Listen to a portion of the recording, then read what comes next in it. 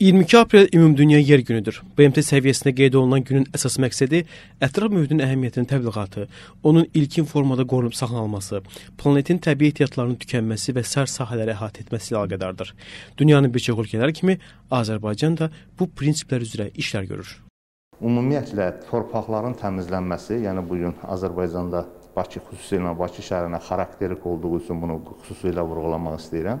Yaşıllıqların salınması, mövcud olan yaşıllıqların qorunması, bunların daha mütərəqqi üsullarla, belə deyək, damcılama və digər faydalı ə, məqamları nəzərə almaqla tədbirlərin həyata keçirilməsidir. Ümumiyyətlə çirklənmiş ərazilərin təmizlənməsi və bu çirklənmiş ərazilərdə bilavasitə ekoloji görüntü, ekoloji mənzərəni özündə təsvir edən müvafiq infrastrukturların salınmasını biz həyata keçiririk.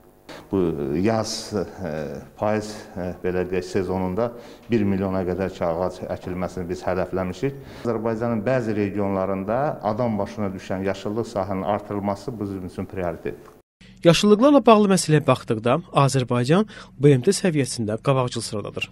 Azərbaycan yaşıllıqların genişləndirilməsi ilə bağlı, bu aksiya, bu cür aksiyaların aparılması ilə bağlı dünyanın birinci onluğunda olan ölkələrdəndir. Bu birinci onluqda Türkiyə ölkələrindən Türkiyədir, bizi bir də Özbəkistandır və e, doğrudan da son illərdə Azərbaycanda çox geniş miqyaslı yaşıllıqların salınması, artırılması layihəsi həyata keçirilir və bizim milli e, meşə strategiyamız e, ha hazırlanır. Bu strategiyada artıq razılaşdırılma mərhələsindədir və bu milli meşə proqramı təsdiqlənəndən sonra yaxın 10 il ərzində, növbəti 10 il ərzində Azərbaycanda e, meşə ilə örtülü olan ərazilərin e, faiz nisbətini Azərbaycan bütöv ərazisi ilə hal-hazırda 11.8 faizdir meşə ilə örtülü ərazilərimiz. Bu e, faizi 15 faizə qədər qaldırmağı hədəfləmişik.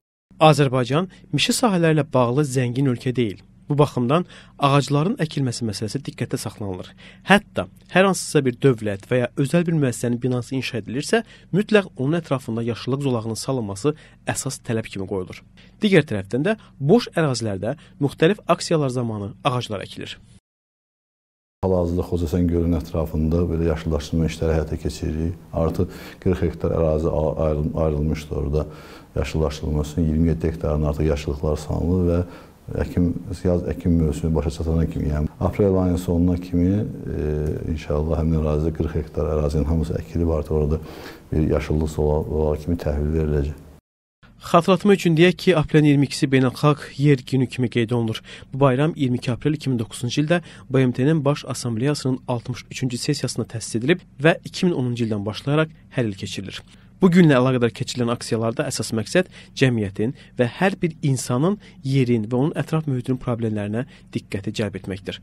Davos, G7, G20 və digər nəhəng təşkilatlarda dünya ölkələrinin liderləri yer kürəsi ilə bağlı müxtəlif çağırışlar edir. Azərbaycan da həmin təşkilatlarda təmsil olunan zaman yer kürəsinin ekoloji problemləri ilə bağlı təşəbbüslər irəli sürür.